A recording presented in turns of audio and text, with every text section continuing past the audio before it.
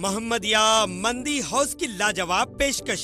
Broasted chicken. साफ़ शफाफ माहौल में तैयार किया जाता है। फ्रेंड्स के लिए मोहम्मदिया मंदी हाउस, शहर में हर जगह। Main branch Qadarbagh Naran Nagar road, Hyderabad. आए नाजिन अगली खबर हम आपको बताने जा रहे हैं, जो कि शमशाबाद आदि बटले के पास है, जहाँ पर एक पुरानी दौर की कुतुब शाही मस्जिद, जो कि गैर आबाद मस्जिद है, उस मस्जिद जो है, आवाज़ दे देकर बुला रही है वक्फ बोर्ड को, कि वक्फ बोर्ड वाले आखिर कब आएँगे कि कब इस मस्जिद की मरम्मत करेंगे और कब इस मस्जिद को आबाद बात करेंगे।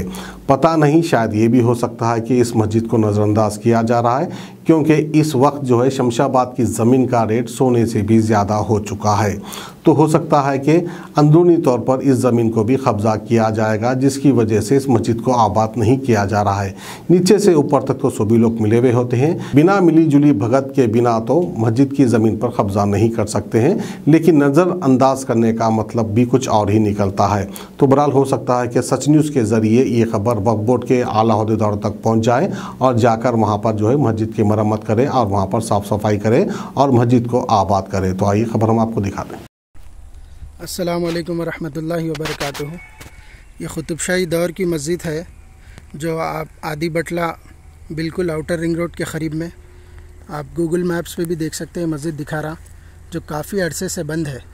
बिल्कुल मेन रोड से क़रीब है, यहाँ से आदि बटला P S five hundred metres पे है, बिल्कुल क़रीब है।